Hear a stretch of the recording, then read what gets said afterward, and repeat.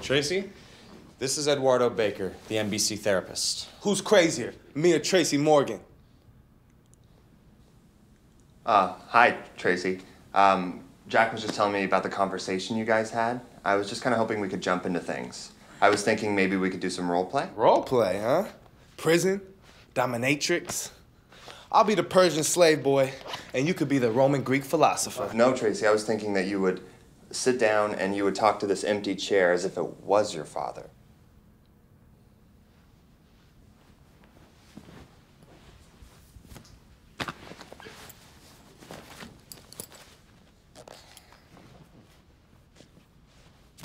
This is stupid. Tracy, come on, we're here to help you. Maybe it would help you if Jack sat in the chair and acted like he was your father.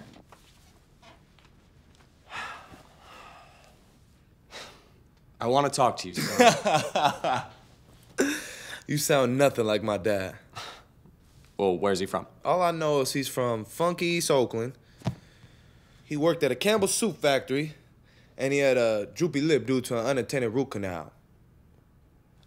Okay, all right, I, I think I got this. okay, go.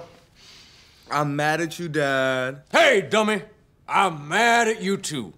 Why you gotta act out that way? This isn't really what I was thinking. Cause you left me, Dad. I was young and confused, and your mom, she, she didn't want me around no more. Now pass me them damn collard greens. Is this true, Mom?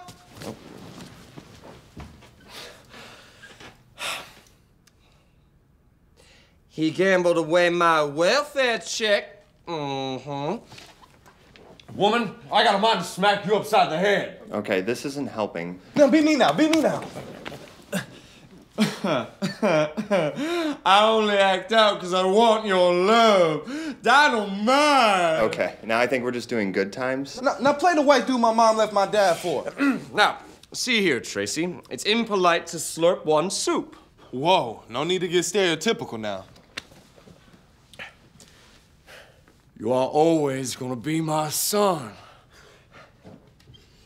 Just because I stopped loving your dad doesn't mean that we stop loving you. Mm-hmm. Woman, stop putting words in my mouth. Oye, papi, callete. People are sleeping here. Mind your damn business, Mrs. Rodriguez. Okay, this is getting ridiculous. Sir, just because I'm an ignorant black man and you paid me a nickel to bust a hole in your chifforobe doesn't give you the right to call me ridiculous. Just because I am proud of my son. They, they got me. The honky shot me. No, Dad! Don't die! I love you, Dad! I forgive you for peeing on my toes when I had athlete's foot. Tracy, that's it. That's it. Thanks for showing me there's actually love in my family after all. And I don't want nothing to do with them. Jackie D, you the only family I need. And I didn't know you had black in you. I think you're just got a little bit bigger. You got that right, Trey. you know, it's, uh, it's too bad that you didn't know Charlie Chaplin when you were growing up, because I had that one in my pocket the whole time.